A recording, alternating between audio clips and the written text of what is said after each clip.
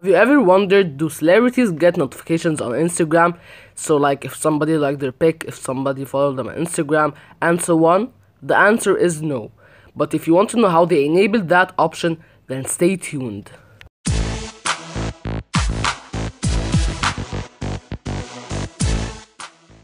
So if you want to turn off Instagram notifications, then follow my steps one by one. So all you have to do is go to options and then scroll down to settings and under settings go to this this this option called push notifications.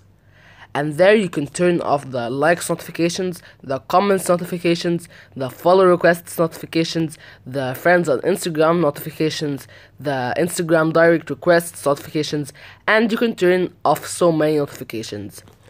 So thank you guys so much for watching to the end. I hope you enjoyed this very short video and please don't forget to give this video a big thumbs up and don't forget to subscribe and follow me on Instagram with a username underscore Aly Barakat and comment any Instagram um, tutorial if you want to if you want to have it and as always I'll catch you guys in the next video.